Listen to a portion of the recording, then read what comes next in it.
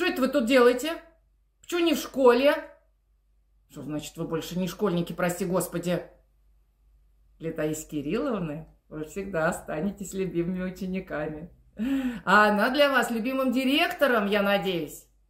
До встречи в новом сезоне «Папиных дочек» на платформе «Старт».